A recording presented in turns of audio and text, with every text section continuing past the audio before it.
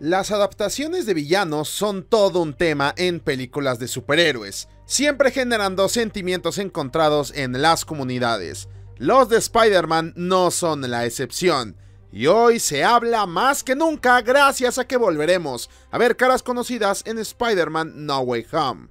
En este video acomodemos a los enemigos del arácnido en el cine del peor al mejor, a ver qué nos sale.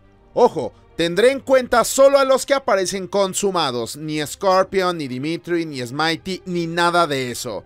Siéntate, toma tu bolsa de palomitas y disfruta de este top 10 que he preparado para ti. Antes de comenzar, dos menciones deshonrosas que no alcanzaron el top 10. Shocker, o lo que se hace llamar Shocker, aparece en Homecoming para no hacer nada relevante. A pesar de que la mercancía de la película lo presentó mínimo con un traje completo, en la cinta hay varios momentos donde este pudo hacer apariciones sin ningún problema, pero decidieron irse por lo fácil. Un tipo con un guante y una chamarra, vencido por Ned y por Peter, mientras se encontraba despistado. No es como que el del cómic sea un tipo al que hay que temerle, pero oye, tampoco es una burla, una total decepción. Y bueno, Rino, no, creo que siquiera tenga que hablar de él. Diseño terrible, no tenemos ni una escena de batalla con él. Y lo peor de todo es que nos restregaron en la cara imágenes que nos anticipaban su aparición. Sin duda, eres una basura.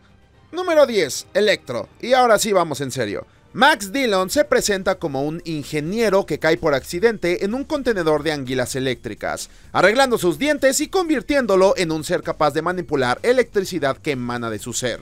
En este caso, incluyeron en The Amazing Spider-Man 2 una trama donde Max se obsesiona con el cabeza de red. Esto provoca que sin motivo aparente pase de fanboy a hater. Luego desaparece de la película y no sabemos de él hasta que la cinta se acuerda que trae el nombre en el póster. En papel es el villano más poderoso al que se había enfrentado un arácnido en el cine, pero sus combates son muy cortos. Y es una lástima por el increíble despliegue visual del metraje, más aún porque Jamie Foxx es un actorazo desperdiciado. Al final, no logras conectar con este tipo y se queda en el aire, por ahora. Número 9. The New Goblin. Spider-Man 3 nos presentó la primera cinta de gran presupuesto donde el hombre araña se enfrentaba a tres villanos. Lamentablemente, la película solo necesitaba uno, y a él le fue peor, con un arco desaprovechado, conveniencias en su historia que estaban en todos lados y poco tiempo en pantalla. Es una lástima. Harry tuvo un desarrollo impecable en la primera y segunda cinta. Que su conclusión se vea opacada fue dispararse en el pie. Además, no logra destacar por su cuenta, pues repite el mismo plan de su papá y si bien esto buscaba hacer un paralelismo, simplemente no le salió. Sin olvidar que sus motivaciones parece que no eran tan fuertes si se dejó convencer por un diálogo de su mayordomo. En la versión de editor esto se arregla un poco con una reflexión personal. Pero oye, hay otros dos villanos en la cinta que opacan su aparición y eso nada se lo va a quitar. Número 8. El lagarto. Este me parece uno de los más olvidables. Su personalidad estrellada no se siente intimidante de ninguna forma. Su diseño, aunque basado en sus primeras apariciones en las historietas, en carne y hueso se nota muy extraño. No sé, el hocico de cocodrilo pudo dar más mello, creo yo. Independientemente de esto, cuenta con diálogos poco memorables. Lo que lo rescata, eso sí, es que las peleas con el CGI son visualmente interesantes. Su plan en la película es convertir a todos en mutantes como él. Sin embargo, no se llega a conectar del todo con sus motivaciones, y esto es gracias a que no se nos muestra del todo su vida personal. Sabemos que está relacionado con los padres de Peter, pero más allá de eso, se omitieron detalles muy importantes como su hijo y más cosas que podían servir para que conectáramos con Kurt Connors. Al final, el lagarto es olvidable, sirve como obstáculo en la película, pero no hace nada fuera de lo común. Y eso que trata de ser trascendente, pero se queda en un traté. Número 7. Venom. No es un secreto que el simbionte tropezó en su primera aparición en el cine. Las expectativas estaban por las nubes y acabamos decepcionados en mayor medida por el tratamiento de Eddie Brock. Entre las varias subtramas de la película tenemos un antagonista que cava su propia tumba, sin llegar a generar una conexión con el espectador, al punto de que, a diferencia de villanos de cintas pasadas, este nos importa muy poco. El diseño genera sentimientos encontrados, personalmente me gusta, pero estamos de acuerdo en que el tamaño no le ayuda en nada. El poco tiempo en pantalla es solo la punta del iceberg.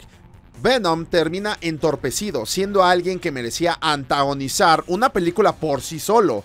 Logra colarse en este puesto porque se nota que había buenas ideas, un egocentrismo claro que lo lleva a modificar noticias para ganar una competencia, Obvio, lo iban a pescar y el resultado terminó como algo terrible, una probada solo de lo que pudo haber sido. Quedará por siempre marcado como un ejemplo de cómo no obligar a un director a meter a un villano que no conoce y que no quiere dentro de su proyecto. Número 6. El hombre de arena. Terminemos con esta película de una vez. Es quizá el personaje con mejor tratamiento de todo Spider-Man 3. Se plantea con un trasfondo simple pero que ayuda a comprender sus actos con mucha facilidad. Flint Marco quiere ayudar a su hija, quien está enferma y requiere asistencia médica. Por lo visto no le queda de otra que robar. Todo interesante hasta este punto, hasta que por conveniencias de la vida, este cae en un campo de experimentos radioactivos donde están haciendo algo y se transforma en el hombre de Twitter. Mismo que puede hacerse más grande, convertir sus manos en armas y, pues bueno, volverse intangible. Es un vato de arena, pues. Ok, vamos relativamente bien, pero nos cuentan que Flint era el verdadero asesino del tío Ben, generando otra subtrama entre este y el cabeza de red que se siente redundante metida a la fuerza solo por retomar un elemento del origen del hombre araña que ya se había resuelto en la primer película. miren, para no generar conflictos. Yo habría hecho esa plática diferente. Quizá pudieron decir que Flint estaba ahí, pero sí fue Denise el que disparó. De esa forma no arruinas nada y podrías justificar que Sandman se siente culpable porque quizá fue su idea el asalto, yo que sé. Sea como sea, la tercera entrega no permitió hacerle justicia a ninguno de sus tres villanos. Número 5. El Duende Verde de Harry Osborn. Terminemos con los que me parecen desechables. The Amazing Spider-Man 2 cuenta con el mismo conflicto de Spider-Man 3.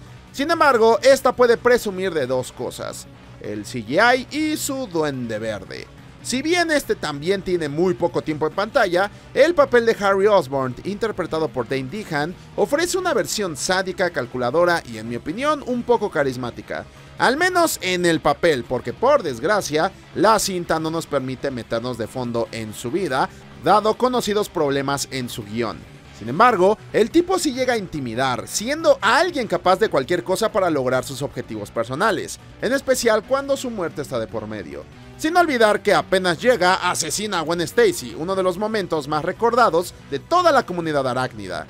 Y por supuesto, era claro que los planes con él y otros villanos era darles más espacio para desenvolverse en un futuro, y este pudo haber sido un buen villano, pero eso no pasó. Al final entra en lo mínimo para ser recordado, pero eso sí, su diseño está terrible con ganas. Número 4. Misterio. De aquí en adelante ya entramos en los que considero buenos villanos. Jane Gyllenhaal nos dio un antagonista que ha logrado lo que pocos, arruinar la vida de Peter Parker. Ok, es cierto, nadie se tragó ese cuento de que sería un aliado durante toda la cinta y el ritmo de la película sufre con esta idea, ya que la primera mitad se siente muy lenta después de la segunda vez que la ves. Afortunadamente, eso se compensa con el segundo acto, pues tenemos a un misterio con todas las de la ley. Este engaña a Peter de una forma que solo Quentin Beck podría. Si bien no me agrada ver ese cuento de que es un héroe, hay que decir que es muy del personaje buscar engañar al protagonista, pues sirve muy bien para el desarrollo del personaje de Spider-Man. Por no decir que el tipo acaba de desencadenar un desmadre que llevarán a lo que veremos en No Way Home. Es cierto que el cuentito del ex empleado de Stark es ridículo y ya es un meme muy tonto, pero por suerte no termina por invadir a toda la historia. Quiero comentar que aquello por lo que me gusta tanto es el mensaje que mantiene al final donde dice que la gente se cree cualquier cosa si sabes cómo mostrárselos. Muy curioso que el villano de la película anticipara todo lo que está pasando ahora en la siguiente cinta y también era un reflejo de lo que se había vivido con Avengers Endgame. Es como si Marvel se burlara de nosotros rompiendo la cuarta pared, ¿quién lo diría? Número 3. El Doctor Octopus. Aterriza en este puesto el partícipe de las mejores peleas que hemos visto en el cine arácnido. Un hombre inteligente al que no cualquiera puede enfrentar y que sin duda es uno de los enemigos más letales que se han mostrado. pues es el único de la trilogía de Sam Raimi que logró derrotar en combate al hombre araña. Personalmente nunca me agradó la idea de que los tentáculos tuvieran poder sobre sus acciones, pero es verdad que para efectos trágicos de la historia, es un recurso que funciona perfecto para explorar todo su potencial. Este es un villano completo, sufre de la pérdida de su esposa, el trabajo de toda su vida se ve arruinado y consideró quitarse la vida. Es hasta que quiere volver a intentar el experimento que nada lo va a detener hasta que consiga su objetivo y hay que decirlo, Parecido al de los cómics no es, pues carece del egocentrismo y mente estratégica que lo alejan de poderse decir una adaptación perfecta, pero no termina como algo necesario cuando notamos las capas de humanidad que tratan de plantear en esta versión. Al final, todo el tema que transcurre alrededor de su redención termina sintiéndose como algo merecido, ya que su mente científica siempre fue la de un hombre que no actuaba por sí mismo, sino que siempre quería hacer las cosas por beneficio de la humanidad. Esta última característica es la que lo aleja totalmente de los cómics, pero al mismo tiempo lo hace un personaje más empático, víctima de las circunstancias. Recuerden, no morirá siendo un monstruo. Número 2. Vulture. Spider-Man Homecoming nos dio la dicha de ver a Michael Keaton ahora como un villano arácnido. Adrian Toomes es un chatarrero con tecnología Chitauri, el cual sí tiene la vida jodida por culpa de Tony Stark. Lo que provoca que ande por ahí con un traje con alas para recolectar y luego vender armas en el mercado negro. Spidey se entera de esto y procede a detenerlo. Sin embargo, el giro llega cuando nos enteramos que Adrian es el padre del crush de Peter. Acto seguido descubre la identidad de Peter no con un descuido o por quitarse la máscara, sino platicando. No se puede ser más cabrón. Ah, y después le tira un edificio encima. Lo que destaca en este tipo es que hace lo suyo para mantener a su familia, siendo el único motivante que tiene. Además, suelta un mensaje crudo sobre cómo algunas grandes corporaciones no permiten a mucha gente realizar su trabajo de forma honesta. El carisma y carácter de este tipo nos ha dejado con muchas ganas de ver su regreso, sin olvidar que esta adaptación cuenta con características de líder que fácilmente pueden poner de cabeza la vida de Spider-Man, y sin duda estaría chido ver una alineación de los seis siniestros liderada por este vato. Pero hay otro que sin duda se lleva el oro. Número 1. El Duende Verde. De la primera película del Hombre Araña. Sí, el del traje feito que todos han criticado por años y que ahora todo mundo ama. Mm. En fin, está aquí por su papel. Nace al mismo tiempo que Spider-Man y mientras este genera valores de responsabilidad, Norman Osborn permite que el Duende Verde tome cada vez más control de su cuerpo, asesinando gente y lastimando a quien se le interponga. Es un villano al que le temes cada que aparece, a tal punto de que su fantasma continuó atormentando en las siguientes cintas tanto al protagonista como personajes secundarios. Tengo un video hablando de por qué me parece grandiosa la batalla final de esta cinta, pero aquí va un resumen. En ninguna otra película se maneja la dualidad entre el protagonista y el antagonista como se hace acá. Ojo, al menos en cintas del hombre araña. El duende verde se siente libre de hacer lo que le plazca. Asesina a los que se interponen en su camino y al conocer al cabeza de red, su primer movimiento es buscar una alianza, nada pendejo. Es hasta que Peter rechaza su oferta que este ataca de forma personal. Su odio hacia este arácnido es una mezcla del ego de Norman Osborn y el del duende juntos, convirtiéndose en un asesino con capacidades físicas muy poderosas y una mente destruida por el odio y la venganza. Este es el enemigo perfecto del hombre araña, llevado a la pantalla grande, un hombre quebrado, traicionado y luego rechazado, que pierde todo y lo único que le queda es una victoria contra el héroe de la ciudad de Nueva York. Y créanme, no solo eso, podemos hablar aún de más capas cuando introducimos a su hijo, Harry. Pero eso ya se ha platicado anteriormente en el canal. Ver al Green Goblin en No Way Home no es más que un mal augurio. Este villano no ataca al cuerpo ni a la mente, va directo al corazón.